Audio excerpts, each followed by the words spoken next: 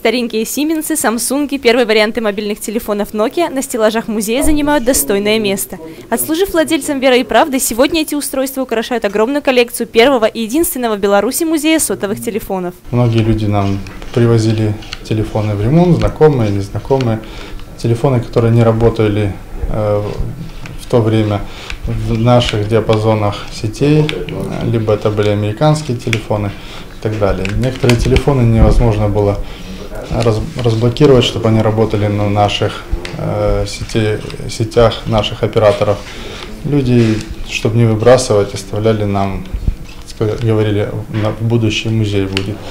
Так и собирали телефоны. Многие ребята свои приносили клиенты, многие уже видели, что у нас существует одна витрина, две, три, начинает э, увеличиваться коллекция, так и оставляли телефоны подарок. На сегодняшний день экспозиция состоит из 300 самых различных телефонов. Среди них как совсем устаревшие, так и устройства поновее. Собирали коллекцию почти 10 лет. Что-то приносили горожане, что-то сами работники центра. Получилось то, что получилось. Теперь у хозяев коллекции большие планы на будущее, среди которых включение такого необычного музея в список туристических объектов города над Бугом. Если все будет хорошо и у нас коллекция будет пополняться, может быть, даже поедем с гастролями в какой-нибудь город, если нас пригласят.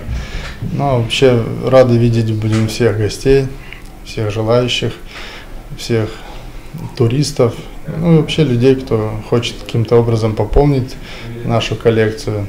Э, туристов, э, приглашаем студентов, которые учатся на каких-нибудь исторических факультетах, которым интересна эта тема которые готовы посотрудничать. Экспонаты для музея продолжают собирать, потому коллекция будет расширяться и, возможно, музей сменит адрес прописки на отдельное помещение.